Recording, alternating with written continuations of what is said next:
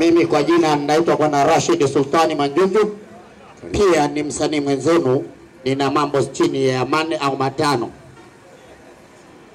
La kwanza ninalozungumzia, nadhani bwana alikuwa na barasa tu, tunazungumzia kuhusu hospitali yetu hii ni chafu, rushwa imezidi, imekisiri. Mimi nilikuwa mfano, niliwahi kulazwa hapo.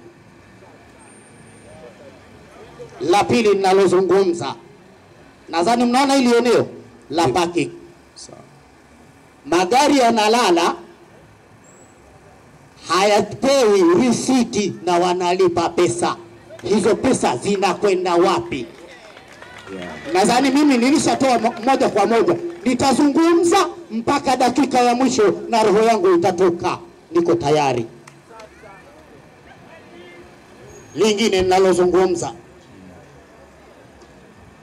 Sintoweza kuficha, kuna wengine wanatumia vyeo, ni viongozi, viongozi papara, wa- viongozi uchwara.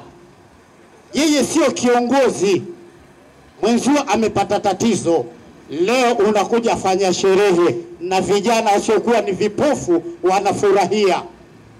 Vijana waliokuwa vipofu, sintolificha, nalitoa hadharani. Anaotaka kunivizia anivizie, niko tayari. Kijana wetu, mimi nadhani nitazungumza kijana gani aliweza kupata tatizo, amekwenda kuzungumza vijana warusu baada ya kupata tatizo katupwa ndani. Hiyo ni kijana mwenzao.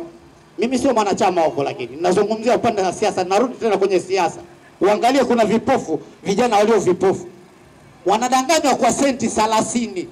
Hakumbuki miaka mitano, anaishi kwa maisha ya shida, anapewa pesa, nenda kafanye vurugu kwa juu ya nini? Ategemee kesho kutwa awe mbunge. Vijana, angalieni mnakokwenda. Sisi wengine tumesha kwisha, mi mguu unachungulia kaburi.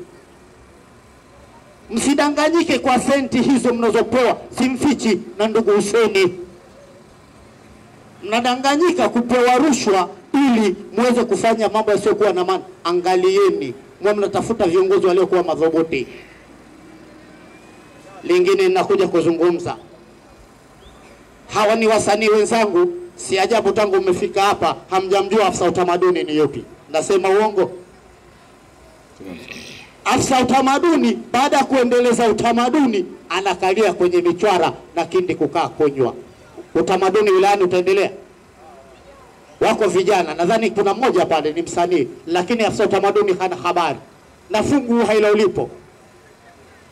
Lingine ninalowaomba sio mweze kuwafundisha Bagamoyo tu, tuna watoto hawa tunategemea kuzaa. Pia naomba mfungue vyuo sehemu kila wilaya na kata, ili hawa watoto kesho na sisi tuweze kuwarithisha.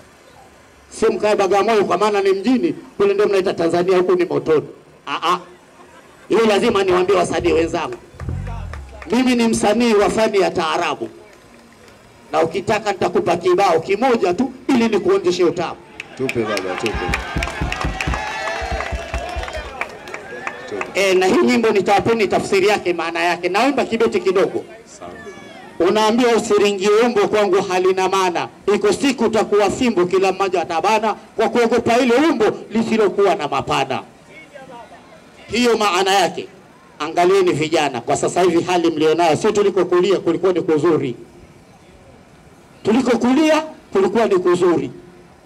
Eh, unaweza kwenda nyumba fulani ukamchukua kimwana ukamweka ndani akatoka, akija unabeba na wewe. Lakini leo hii ndugu yangu, angalia, utabaki na kilo mbili nusu kilo, tunakupeleka umefungwa lambo kiunoni, tunapeleka bondeni.